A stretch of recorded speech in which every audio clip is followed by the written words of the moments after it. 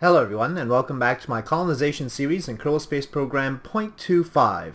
In this episode I hope to do a bunch of stuff. Uh, first of all I want to send a power plant over to the moon and so we'll connect it up with our colony and thereby provide power for other services including agricultural services in the future and so we need a lot of power for that and hence uh, we've got here a nuclear reactor of some sort uh, which uses enriched uranium and produces depleted uranium. So hopefully that will do the trick. But but aside from that, I have to test a new launcher. And the reason I'm uh, going with a new launcher is because first of all I wanted a single body design.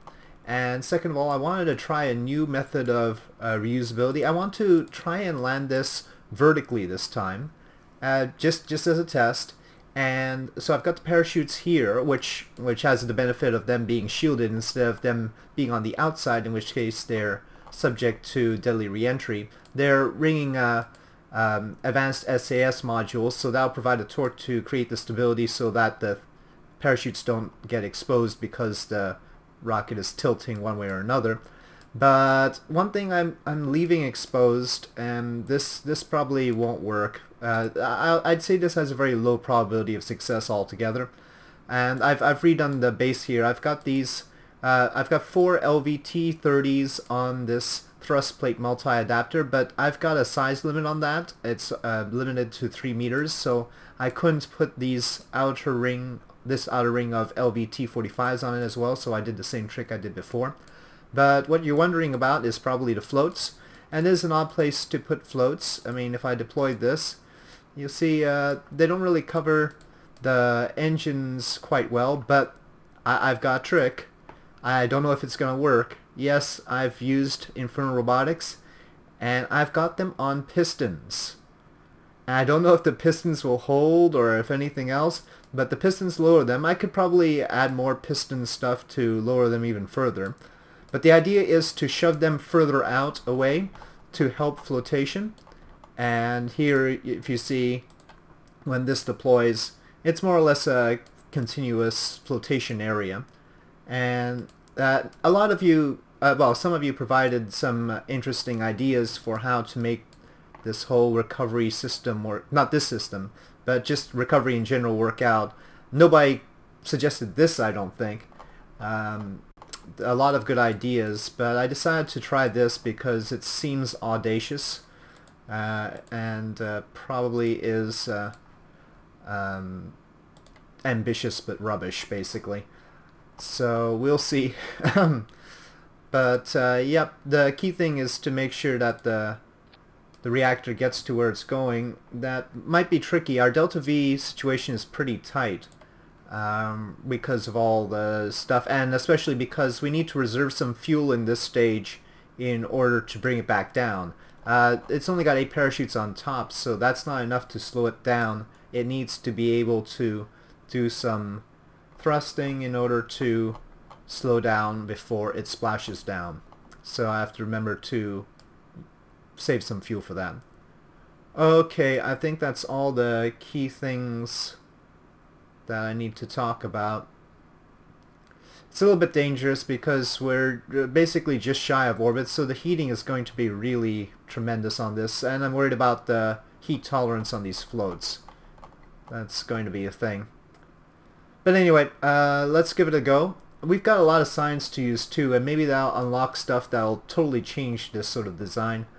And so I'd have to look into that, but not right now. I decided I, I was inspired to do something crazy like this and I shall do so. Alright, and uh, actually let's put some launch clamps and then we'll go out to the launch pad. Okay, here we go. I've got Samden Kerman in there. Uh, hopefully this is not inadvisable, but I think we need a Kerbal in just to make sure control is okay. I, I forget if I've got a remote controller. In any case, it's uh, a little bit more poignant if you have a Kerbal involved and I think uh, that's an okay thing. I'm gonna arm FMRS since we do plan to bring the stage back. I don't know what phase of the flight we will be doing that. Um, everything looks to be a go. Sound unsure as food, water, and oxygen, no problem there. Alright. Uh, well, I hate to uh, put a Kerbal in on a on a test flight of a new launcher, but I would fe feel better about uh, bringing this to the surface of the moon with a Kerbal involved, especially since it's a reactor and everything. Okay, so here we go.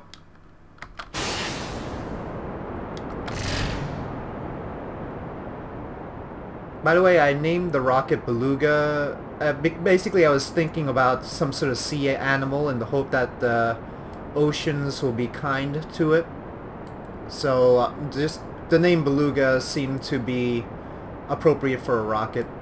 Go figure. I I don't know if it is or not.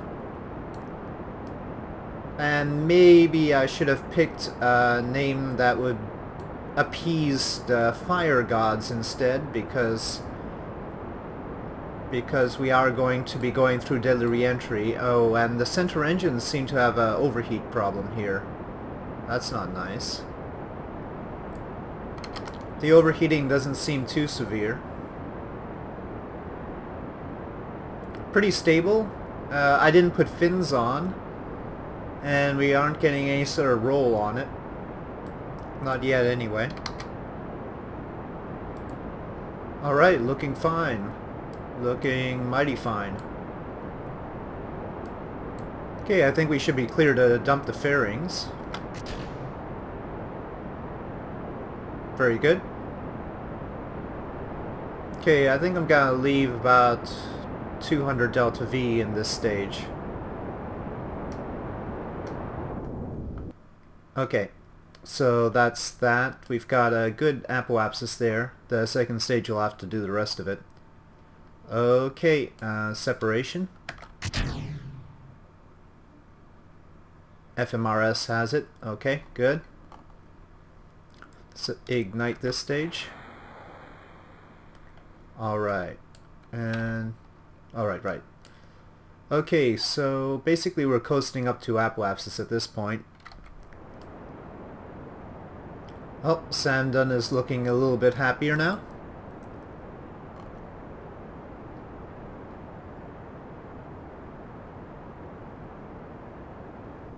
Okay, that's good enough for me. Alright, so in orbit, ready to go for the moon and getting into orbit around the moon. Plenty of delta V for that, so no problems here.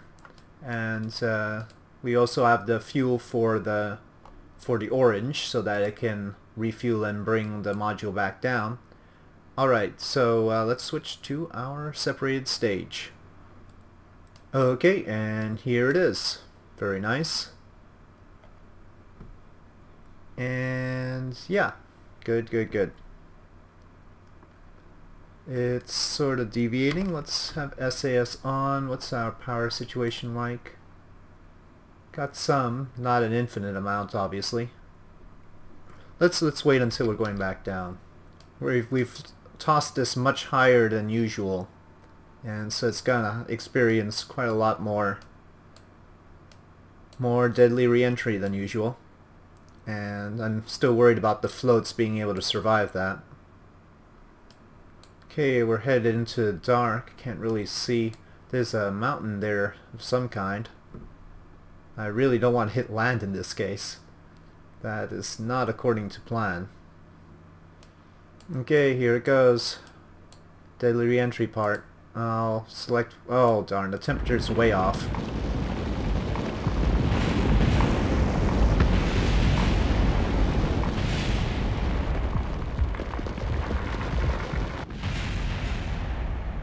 Okay, well that take care this that takes care of all the floats. Uh, there's still a chance to recover this though. Not much of a chance, but some chance. Oh, not now. Oh, ow.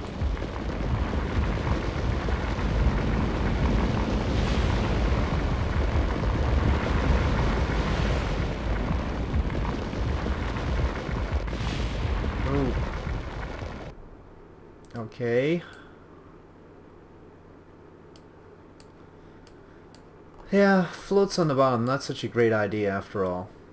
But the engines are still on, and we've got parachutes. Let's see.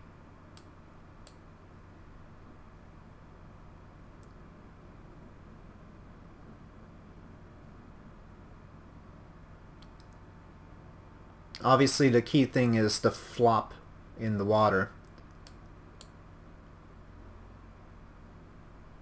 Okay, we should be clear for parachute deployment.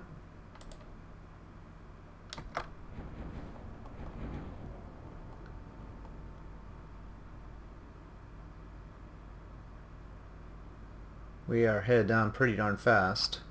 Gotta take SAS off temporarily. Okay, full parachute deployment. Oh, fudge.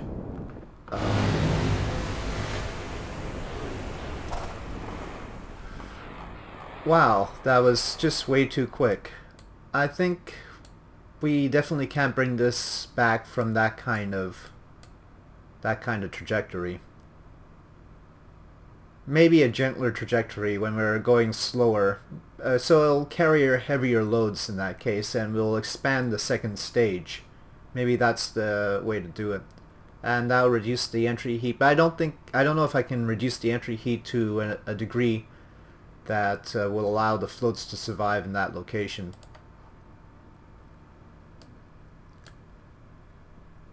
Okay. It says recovered, I think. Get rid of that. Okay, anyway, so yep, we're back with the main mission. It, it's tough to figure out uh, how to put the floats though. I mean, even if you put it on the side, it uh, wouldn't survive necessarily. Not with deadly reentry and all. It'd still heat up. At least the bottom pair would. And if you lose the bottom pair, then there's gonna be imbalances and all that. I'll have to think about it. Of course, I could go with some of the suggestions that have been offered, and maybe those would be better. But I tend to, whenever I try and redesign these things, I suddenly come up with an idea of my own. And it's probably inadvisable, but it's interesting. Now, this is not the only thing I want to send over today, and uh, once this is on its way to the moon, I'll launch a few more things, and I'll show you what those are maybe we'll get a chance to test a variant of the of the Beluga. I haven't decided yet. Okay, here we go.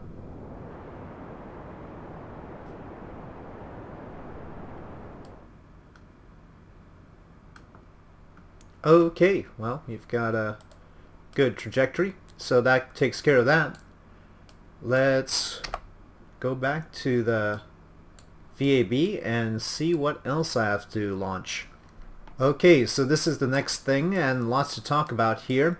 First of all, uh, this is basically a replacement for the Goldbug and it was inspired by the Nerd484 who reminded me that we've got crew carrying airplane parts. The Spaceplane Plus parts can carry a substantial number of crew members at a very low mass and also they help make sure that the center of mass is relatively low compared to the hitchhiker storage container. And of course we also have fuel tanks that are suited for it, so we've got fuel there and there for the for the little Rockomax 2477s that we use to uh, to get the descent right, and of course to uh, get us off the surface if we need to do a little hop of some kind. Uh, here I've got the Karbonite converter again, and we've got the Karbonite tank, the generator, and of course the drills. So everything is still there. It costs a little bit more to do it this way, and so there's that uh, little bit of a problem, but uh, we get to use this little herp pod. That's a nice addition. One thing I didn't add is a a unmanned controller and I guess I'll just uh, pass on that this time. We will have this launch manned. Um, Martin Ellis uh, reminded me that uh, we can scale up the wheels, so this is also benefiting from the fact that I scaled up the wheels to 140% instead of just keeping them small, which I did on the Goldbug. So hopefully this will be a much, much more stable sort of thing. Why I'm building a craft that can carry so many Kerbals, I have no idea. It actually carries one uh, less than we would normally need. Uh, it, uh, if we wanted to fulfill the contract, for instance, we'd carry uh, 10 or more. I'm only carrying 9 here, and that's because I just didn't want to make it too long, and I like this shape better. Uh, we could, in theory, slip a um, docking port module or something in between here, or even another crew cabin or something. but I didn't see a need for that just yet. I did put a small docking port up here just so that we can control from there if necessary. I don't know if that'll be necessary or not. The, the herp pod doesn't have much reaction control, of much torque, and so that's why I've got an inline reaction wheel here. Uh, this tank is the mod propellant tank. So we do have RCS thrusters as well. And so that's that's that. That's the I've called it the Moonmaster One. Uh, again, very hopeful name. Not entirely sure it'll work out. I did add a winch at the back here. I I used a small size so that it wouldn't uh, have so much mass on it. Uh, but the problem with the small size winches is that they don't have much range when you pull them out. So it has to get pretty close to whatever it's going to be connecting to. Alright, and uh, so that's that's all the good parts spoken for. Now I think I only put uh, this radio connector port on one side, so let me uh, fix that. I wanted it on both sides of this thing. There we go. Okay. So, yes, now the Beluga A. okay, this also has very little chance of working, but I made some improvements. Uh, I'm, I'm nothing if not persistent. Um, let me just get that stuff staged right so you can see the proper stats for this rocket. And the way the reason I uh, can do this is because the payload is much lighter. We're not carrying the extra fuel for the orange or the pumpkin uh, to bring us down. We're using the fuel on this Moonmaster in order to actually make the touchdown. So that leaves us with extra room to spare. I extended the second stage as I said I would. I've made it five minutes instead of four and so it's got a lot more delta V especially since the payload is lighter. And so that's there. But I also added a reserve tank for the descent. And that's a lot of fuel that we're keeping in reserve in order to make sure that this is not going very fast on descent. And its own delta V is much lower so it's going to separate much earlier.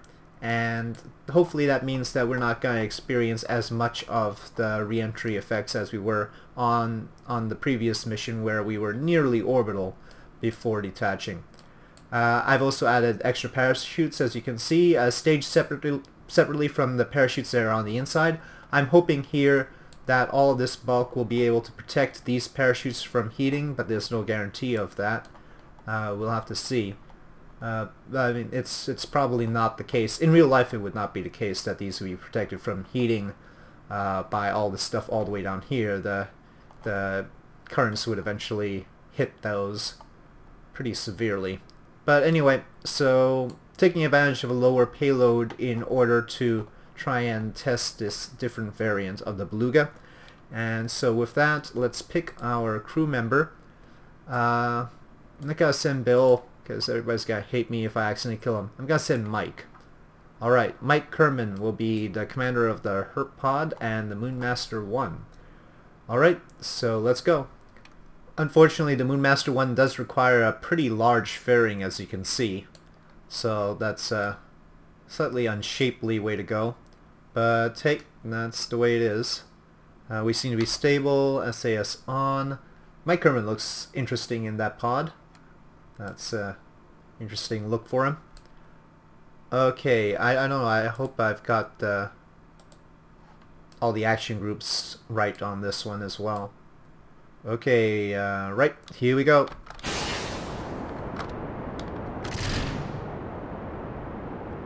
Much slower ascent because we're carrying a lot more weight.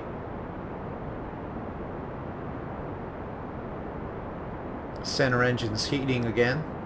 But we didn't have any problems with that last time, so I'll just leave it be.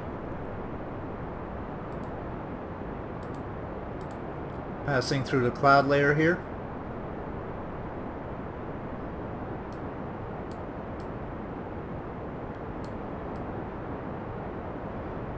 Seems a bit dark for Mike Kerman right now.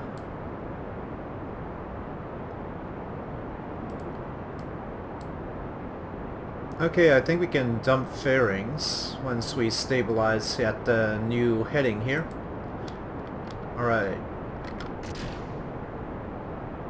Fairings are off.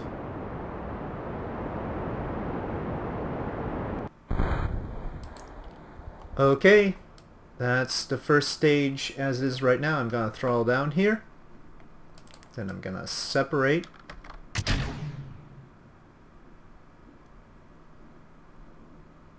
Okay, activate this engine.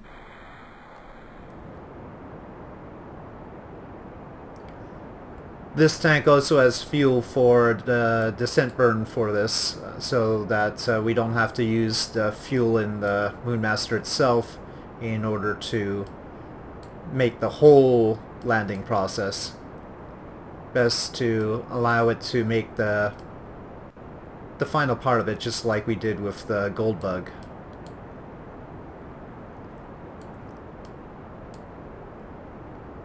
Oh, by the way, you may have noticed I've added lights that actually shine on the vehicle itself. So we've got that going for the Moonmaster as well. It uh, has itself lit dimly, but still lit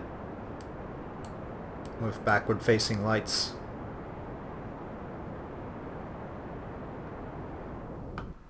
Okay, that is orbit.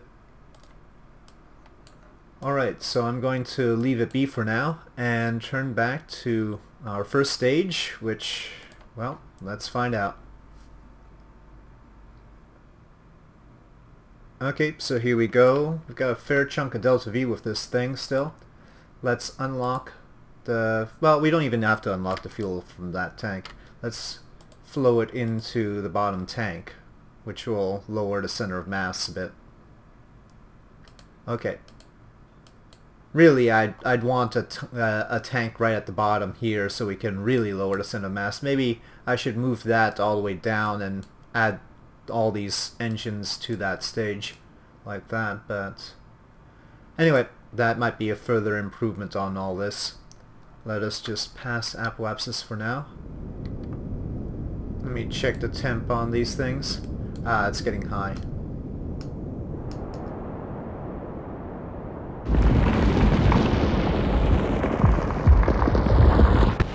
Ah, darn it. They all exploded. well, so we can't test the floats. Let's just see if we can save this thing somehow. Come on. Point retrograde.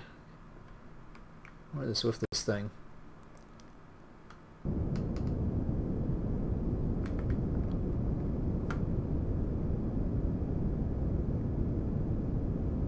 Okay, uh, first salvo of parachutes. Second salvo of parachutes.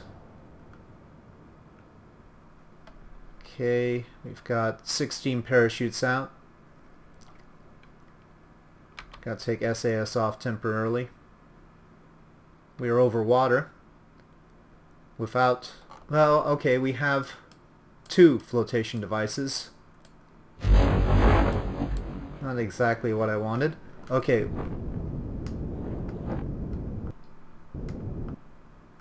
Okay, we've slowed down a bit, though not enough. I've got to put SAS on.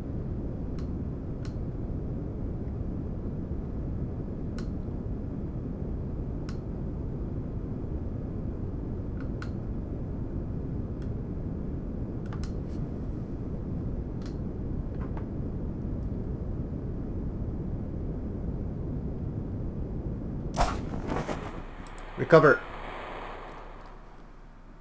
Okay, well, the game crashed when I tried to recover vessel, but...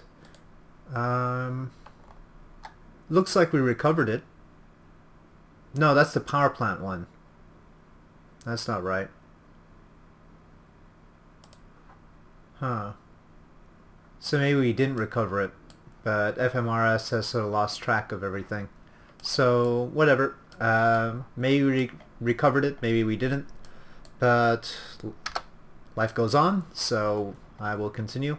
It was not exactly what I wanted anyway, certainly an improvement over the, the previous attempt, but not, not what I'm aiming for.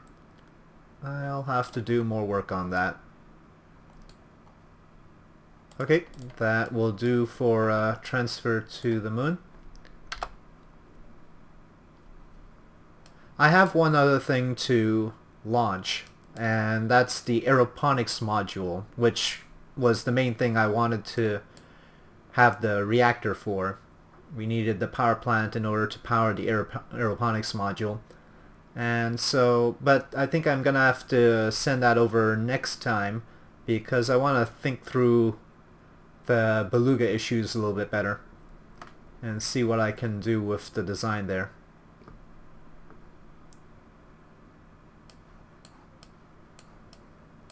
Uh, the lights don't really... I didn't angle them properly at the vehicle. They do a little bit of lighting. I wanted to sort of skirt the vehicle, not make it glaringly bright, but I didn't do enough. It's, it's not bad from this angle though. The herp pod, does it have, it has its own lights, right? Ah, that's, well Mike's face is still a little bit dark. The lights are not quite hitting his face properly. Oh, that's better. That's because the sun is rising there.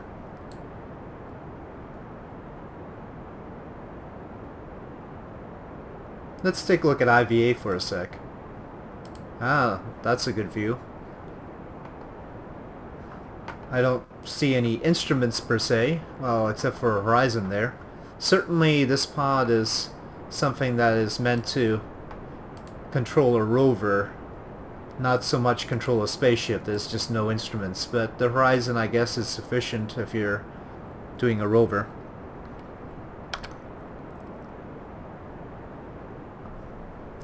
Now it's possible that with the winch this thing could tug the little modules around without using the docking port. Of course the current tug that uh, pulls the base modules around uses the docking port to connect to it, but this could use the winch and just slap on a radial connector port to to the base modules that it wants to move but I'm not too sure whether that's safe or not. We'll see.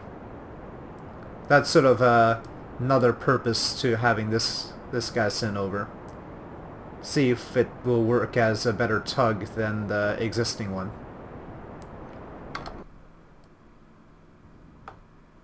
Okay, that's good enough. 64 kilometers. And it too is on its way out. Wait a minute. Shouldn't we have another mission on its way to the moon? See Wacko, Mu Depot. The power plant is still in orbit. I think, I guess that must be FMRS messing up. I'll uh, switch to the power plant and make sure that it's on its trajectory to the moon.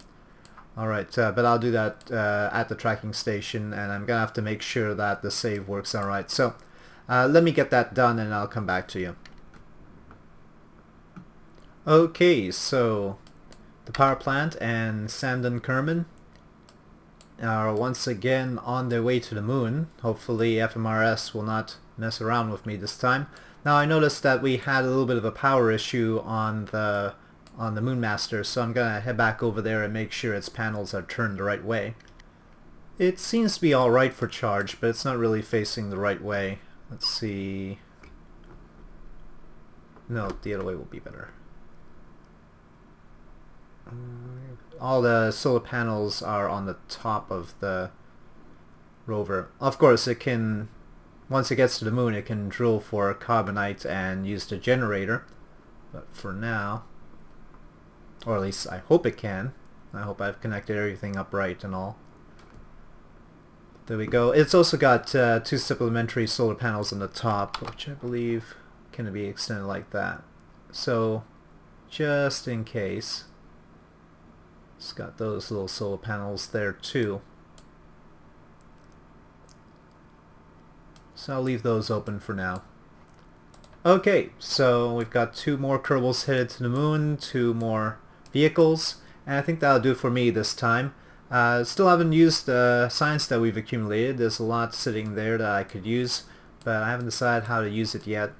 And so we'll take a look at that perhaps in the next episode, but we've got other things to do as well. I've got the aeroponics module also to send up, but I want to work on the launcher a little bit more, and perhaps maybe we'll go back to trying to land it horizontally, I'll see. Alright, so with that, thank you for watching. If you enjoyed this video, please do press like. If you have any comments suggestions, please leave them in the comment section below. And I'll see you next time.